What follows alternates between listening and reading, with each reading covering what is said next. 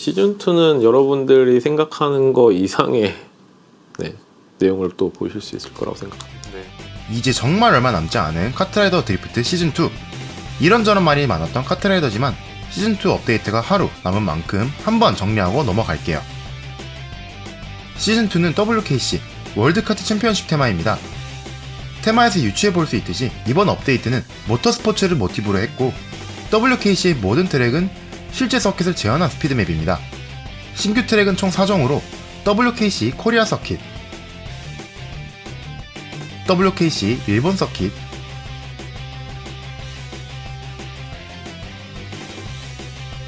WKC 브라질 서킷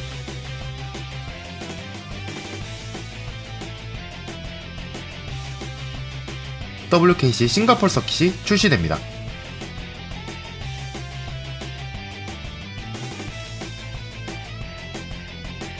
WKC 테마 외에 아이템 트랙 2종도 출시되는데요. 빌리지 시청 광장과 빌리지 산들바람 공원 트랙이 출시됩니다. 매 시즌마다 6개의 트랙이 추가가 된다고 보면 되겠네요. 아이템 트랙 2개는 베타 테스트에서 공개된 트랙이기도 하고 기존 원형류 트랙과 큰 차별점은 없는 트랙이거든요. 베타 때 트랙 다 보여주고 조금씩 풀어버리는 유형이 좀 아쉽긴 해요. 카트에 관심이 있는 유저들일수록 어 이미 봤던 거네 하면서 김이 새 버립니다. 신규 캐릭터는 WKC 테마에 맞춰서 데릭과 오리온, 로두마니, 티이라가 출시되고요. 기존 캐릭터들도 테마에 맞춰 다양한 캐릭터 스킨이 출시될 예정입니다.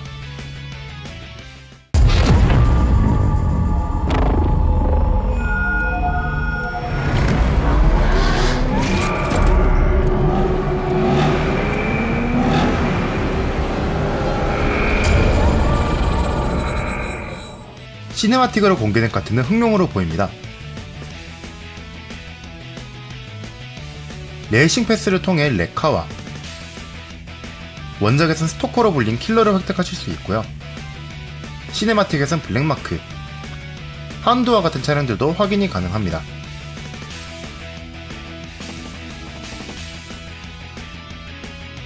다만 이전 팩토리 테마 시즌 1 트레일러에서 cinematic과 일러스트 등에서 공개된 빌리지, 그래피티, 웨어울프, 메탈로더, 흑기사도 출시되지 않았기 때문에 사실 티저에서 나왔다고 해도 100% 출시되진 않을 것 같아요. 당장 프리시즌 라이브에서 디렉터님이 타고 있던 스파이더 카트도 아직 출시가 안 됐기 때문이죠. 이 계정은 저희 운영팀 계정이기 때문에 네, 테스트용 계정으로 모든 아이템을 보유하고 있는 거고요. 여담으로 이제 카트 성능 동일하는 업그레이드로 차별화를 두지 않을까 싶긴 한데 업그레이드도 역시 쓰는 점만 쓰다 보니까 결국은 같은 조건에서 크기가 작은 차 위주로 선택하게 되는 것 같습니다. 이것 또한 시즌3에서 꼭 해결해야 되는 숙제가 되겠네요. 현재 논란의 중심이 되고 있는 풍선 업데이트입니다. 풍선은 판당 하나씩 소모되는 아이템이고 루찌를 통해서 충전하는 방식으로 출시되었습니다. 여기서 논란이 되는 부분은 풍선도 업그레이드를 할 수 있고 업그레이드 할 때마다 다양한 효과를 지원한다는 점이에요. 카트라이더 드리프트에서는 풍선도 업그레이드 하실 수 있습니다. 풍선 업그레이드는 카트 업그레이드와 마찬가지로 루찌를 확정 구매하는 방식입니다. 미사일을 막는 효과만 있던 원작과 다르게 업그레이드를 하면 스피드전 자동 게이지 충전이 올라가는 효과까지 넣어줬습니다. 업그레이드를 진행하실 때마다 새로운 효과가 추가되게 됩니다. 스피드 전에 자동 게이지 충전 속도가 올라가는 효과도 있으니까요. 이게 되게 의아한 게 스피드 전 코어 유저들은 풍선이 시야에 방해돼서 치장 아이템을 그닥 선호하는 편은 아니었기 때문입니다. 아 이것도 원작을 경험해본 유저 기준이어서 그런 걸까요? 게다가 앞으로 다른 치장 아이템에서 어떤 새로운 성능이 추가가 될 수 있다는 가능성을 여는 업데이트이기 때문에 더욱 불안한데요. pay to win이 아니라고 해서 유저들이 결코 이런 방식으로 성능 차이를 두길 바라지는 않았거든요.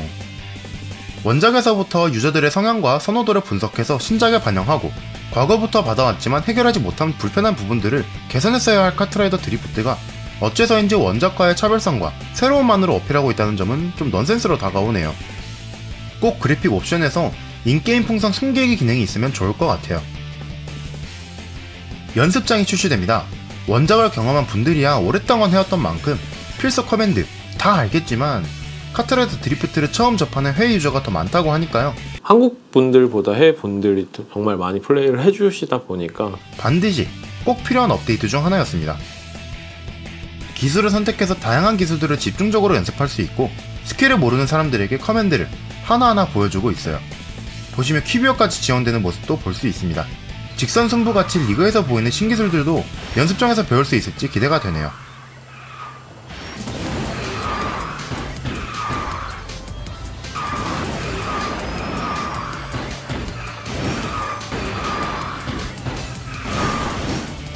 그 다음으로 L2 라이센스가 출시됩니다. L3에서 L2로 라이센스가 확장됩니다. 라이센스는 앞으로 실력 검증을 위한 장으로만 이용된다고 하네요. 프로 라이센스까진 아니더라도 L1까지 업데이트가 되는 걸 기대하는 건 욕심일까요? 무한 부스터 모드가 출시됩니다. 사실 이 모드가 팩토리런보다 더 일찍 출시되었어야 할 모드가 아닌가 싶어요. 팩토리런은 음, 뭐할 이유도 없었고 맵도 원형 트랙 하나뿐이었잖아요. 유저 입장에서 솔직히 너무 재미없었어요. 반면에 무한 부스터 모드는 원작에서도 흥행에 성공한 모드였고 실력이 부족한 유저라도 속도감을 느낄 수 있었기 때문에 우선순위가 가장 높은 모드였습니다. 카트라이더 드리프트의 무한 부스터 모드는 카트라이더 드리프트만의 색깔을 입혀서 재탄생했습니다.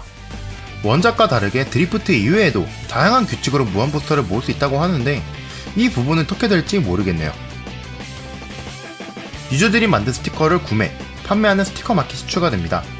이거 베타 때부터 유저들이 livery 잘 만들었는데 공유가 안 된다고 불편하다면서 피드백 줬던 부분이에요. 스티커 마켓에서 사람들이 올려둔 스티커를 500루치로 확정 구매할 수 있고 그중 일부는 판매자에게 돌아가는 방식입니다. 스티커 하나만 잘 만들어도 루치 부족할 일은 없겠죠. 다운로드한 스티커는 수량과 기간 제한 없이 사용이 가능합니다. 차량에 맞게 livery 자체를 공유하는 탭도 하나 있으면 좋지 않았을까요? 시즌2는 방탄소년단이 만든 BT21과 콜라보가 예정되어 있습니다. 지난번 메이플 스토리 콜라보처럼 상점에 아이템만 추가되는 형태가 아닌 참여할 수 있는 이벤트가 많이 나왔으면 좋겠네요. 이 외에도 리플레이 기능 추가, 그랑프리 개선 등이 이루어지는 5월 11일 시즌2입니다. 그랑프리는 시즌1 그랜드마스터 등급이 4명밖에 없었던 만큼 당연히 개선되어야 했어요. 정말 심각한 수준이었거든요. 시즌2 업데이트는 거의 한 달 만에 업데이트고 비중이 꽤 큰 업데이트인 건 맞아요. 그래도 리버리나 엽수장 같이 급한 개선 사안들은 빨리빨리 내도 괜찮지 않았을까 싶긴 하거든요. 원작을 경험해본 유저들은 목말라 있고 미완성인 게임이 하루빨리 나아지기만 바라고 있을 뿐입니다. 저희 업데이트 역시도 한 달에 한 번의 간격으로 가져가려고 생각을 하고 있고요. 그동안 업데이트가 거의 없었기 때문에 한 번에 쭉 업데이트 하기보다 일주일, 2주일에 한 번씩 주기적으로 업데이트 한다면 좋을 것 같아요. 아, 그리고 쿠폰 이거 고정 댓글로 적어둘 테니까 아직 못 쓰신 분들은 확인해서 아이템 받아가셨으면 좋겠네요. 그럼 WK 시테마 기대한이 성공을 기도하면서 다음 영상으로 찾아뵙겠습니다. 안녕.